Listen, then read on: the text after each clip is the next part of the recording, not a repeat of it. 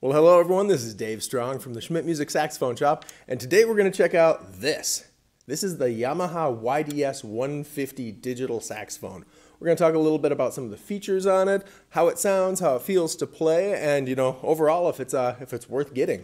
Very interesting instrument. It's a digital saxophone with a metal bell and a real mouthpiece, although not a real reed. We're going to check it out in just a second here.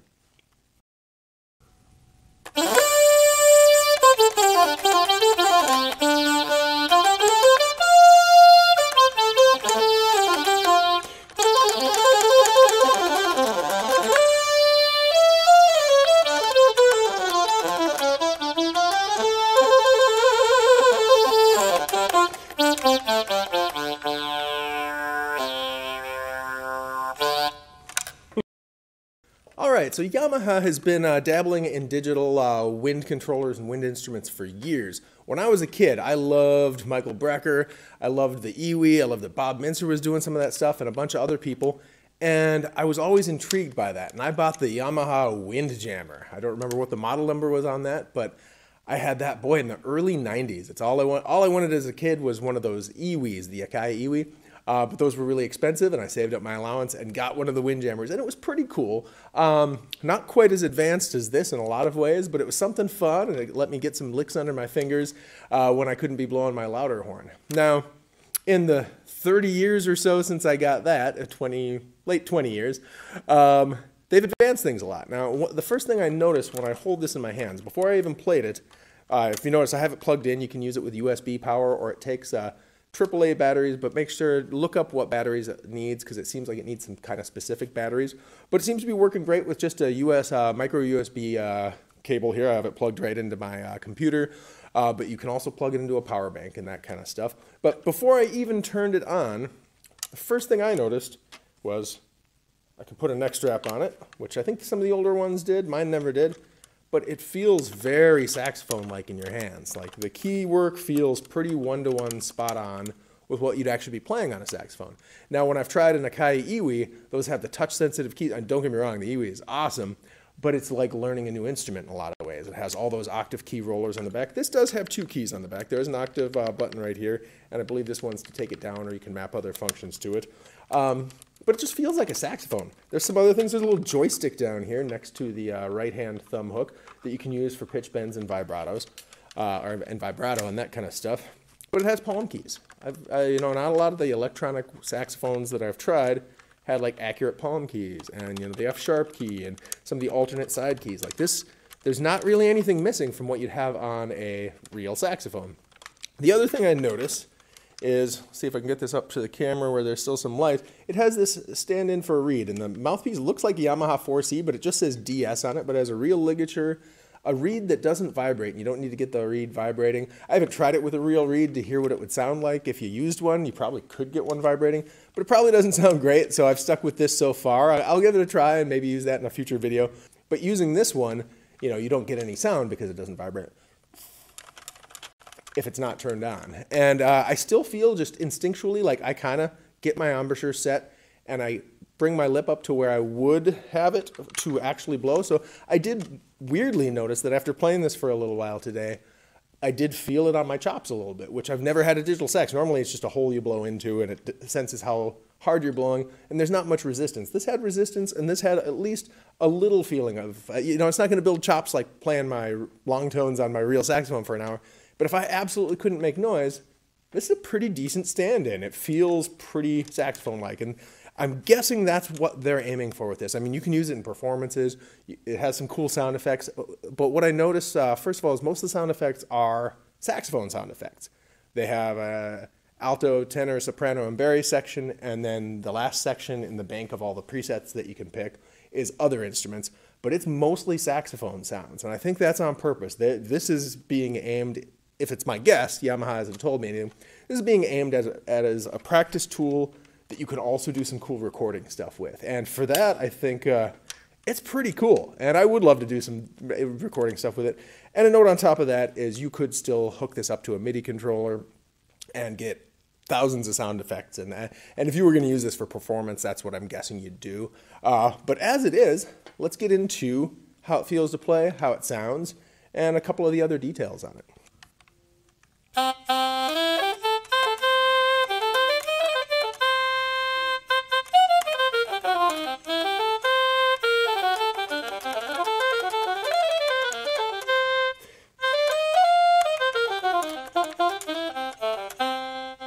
yeah, just from a few notes there, it's responsive. I really like that there's enough back pressure, and you can adjust that in the settings how hard you have to blow to get it louder and quieter. But I found the default setting on that it's pretty good. Like if I really dig in, I can get it to get to a nicer volume. And as I blow harder, you hear a little more raspy sound. It sounds electronic, of course. Uh, thankfully, they haven't found a way to digitally replicate a saxophone sound, so computers aren't going to replace us saxophone players quite yet.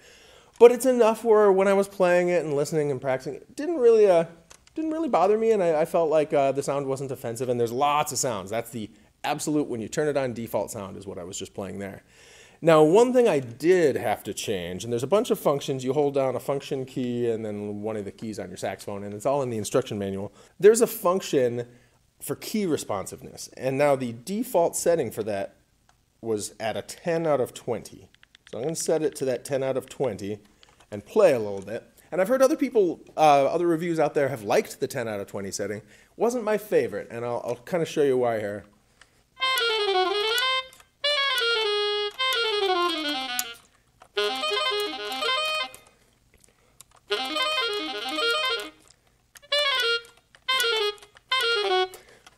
So I don't know if you can notice that in there. It's still pretty good. I'll exaggerate the effect and turn it up a little more. Here, I'll turn it up all the way to 20.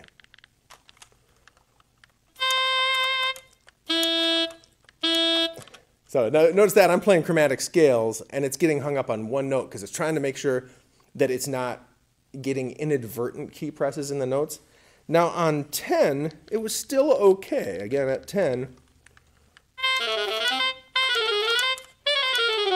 I feel like I have to be very deliberate with my key presses. And on real saxophone, I like to be very light and delicate touch on it, just for agile things. And sometimes it would be great. Sometimes it would get hung up on a note, and I'd be playing three notes and it would only catch one or two of them. I actually found I had the best results for myself when I turned it down to zero. So if I was playing really quick chromatic stuff there.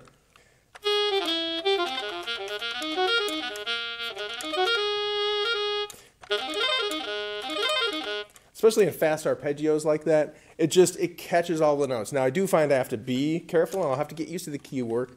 Um, the biggest thing I'm noticing so far is because the octave key is not an analog button like the rest of the keys on here seem to have an analog feel where they, you know, you can move them and there's some space in between. It's just an on and off thing. And you know, if you play a normal saxophone, you can barely touch that octave key. If you get it set up really tight, you basically you're not having to push it all the way down. You can just kind of slightly lean into it. So that's my habit and i find i'm right now missing the octave key occasionally.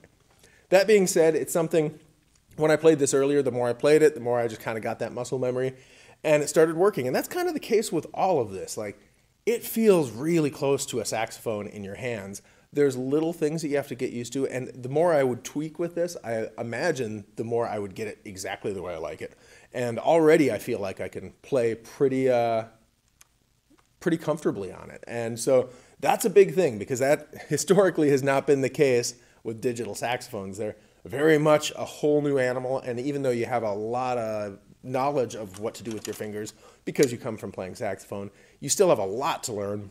This one, within about 20 minutes and tweaking a couple settings, it felt pretty good. So uh, points for the Yamaha on that. Um, it's uh, a saxophone player is going to feel pretty at home on it. Let's take a look at some of the different sounds that it can do. I'm going to quickly go through the different saxophone ones. It seems like the different saxophones, because they have, you can see here, as I'm switching through, it'll say like AO1, that's alto 1, 2, 3, 4, 5, 6, 7, 8, 9, 10, 11, 12, 13, 14, 15, 16, 17, and then I'm in soprano. And it seems, I'll have to go in here more, it seems like the different altos just all have a little difference in timbre. So I'll do a couple alto ones, then I'll do a couple of the soprano, tenor, bari, and then at the end of that, spend a little time on some of the more synth sounding ones. And yeah, here we go. Uh, we'll go through some of the alto sounds. Here's A01.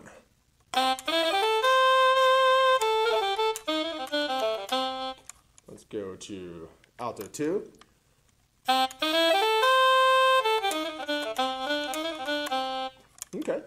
Real difference. It's minor, but I can I can hear a little timbre difference. Here's alto three. A little darker, a little less uh, buzz in the sound. A four. Way darker, um, sounding less saxophone-like, but A five.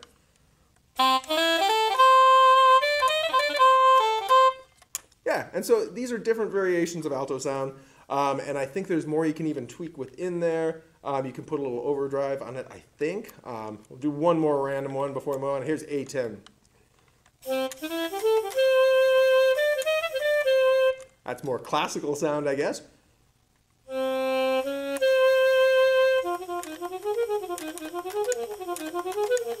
Kind of interesting how it articulates uh, when I was just kind of playing smoothly. But yeah, so some different things in here. And we'll move, if you want a soprano sound.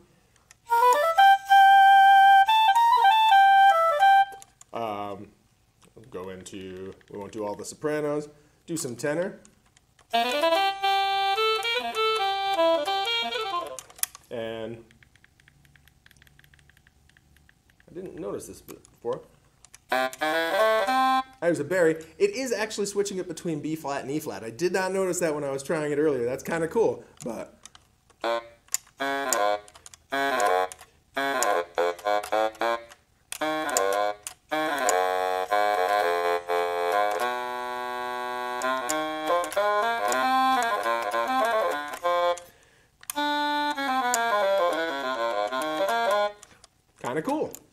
So those are the saxophone sounds. Um, tons you could experiment with there. And uh, let's check out this wheel on the side here. So if I play a note, or not a wheel, it's kind of like a little joystick. Yeah, it can bend a little up and down, and I noticed in the instructions you can change how much that bends. And if I go side to side,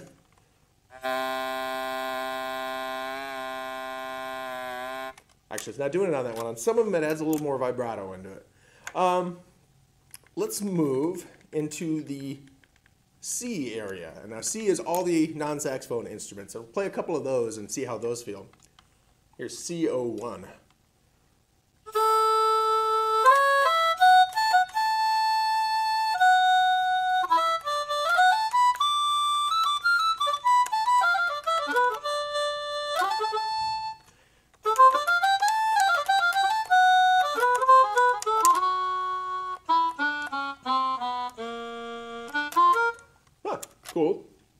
Harmonica kind of voice there.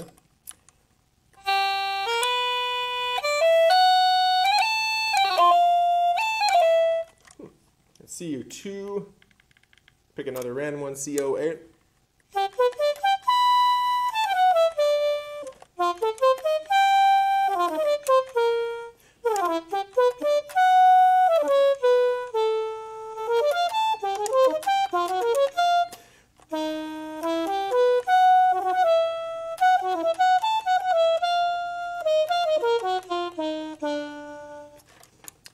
To that octave key, but yeah, some cool sounds on here. I could see you having a lot of fun doing some creative stuff with this. Here, C10. Whoa.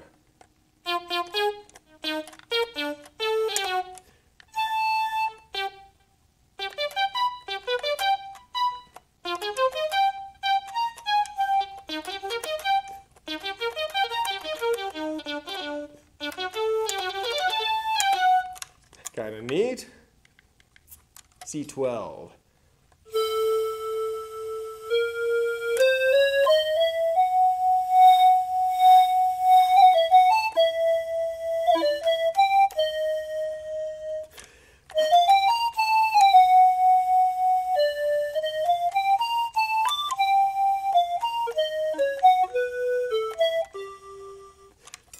One thing I have noticed is alternate fingerings, altissimo fingerings. Haven't done anything yet. I've been experimenting with a couple of them, and I do some of them just out of muscle memory. Um, some of that stuff may be built in. I'm gonna have to really dig through some manuals and tips and stuff. But it, something that you know, there's there's enough of enough of the basic fingerings that really uh, make you you can get some really cool sounds without those. But see here. 14.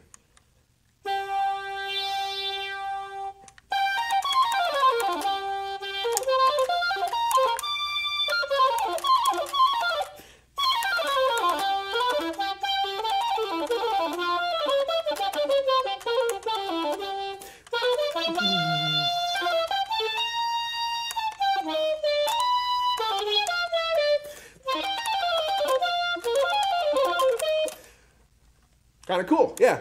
Also, I've noticed I went to growl, and of course that does nothing too. Same thing, moving the mouthpiece here doesn't do anything.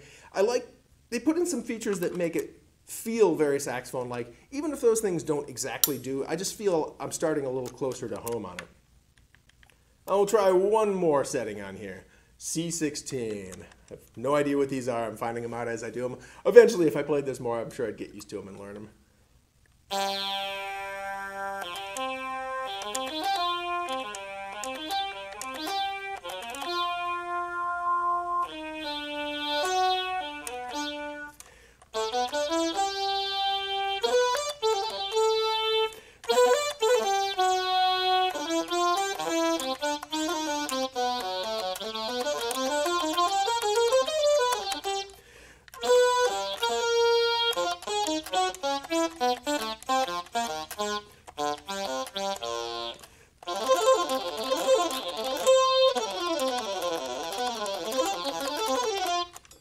I'm actually, to be honest, having a lot more fun with the synth sounds than the sax sounds. Sax sounds are fine, they're great. I think that's a nice touch that they're aiming it at a saxophone player.